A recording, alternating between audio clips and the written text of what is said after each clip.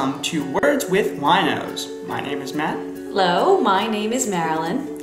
Alright, guys, so we've been in Prague for about two weeks now, and we just wanted to let you guys know what we've been up to. Uh, so, yeah, last you heard from us, we were in an Airbnb when we first arrived in Prague, and while we were there, we were basically exploring the area a little bit and trying to find a place to live.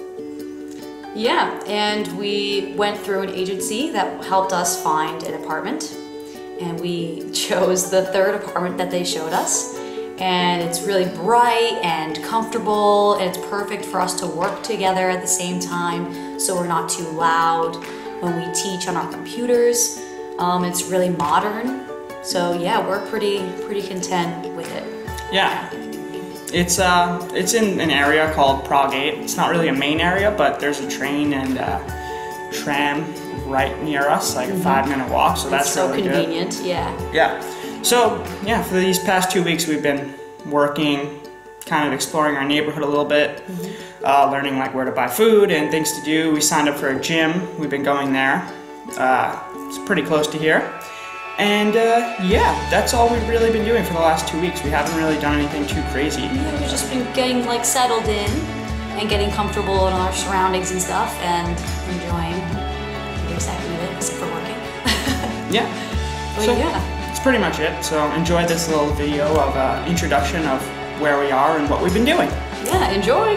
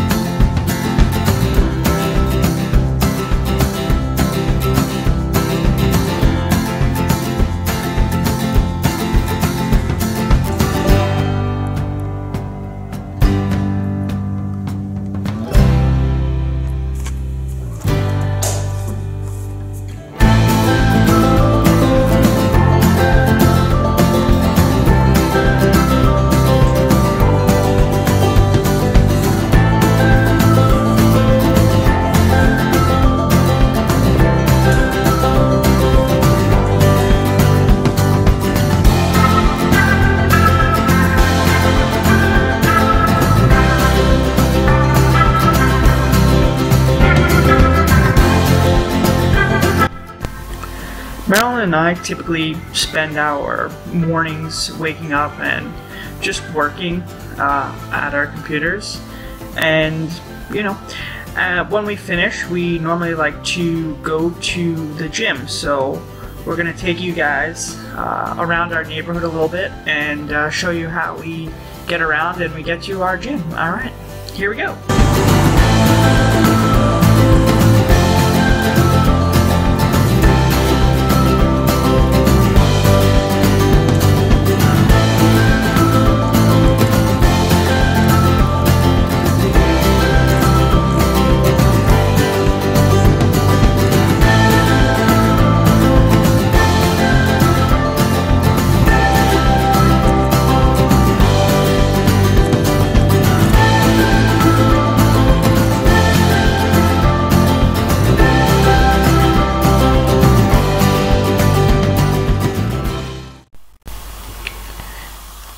There are many different ways to get around Prague.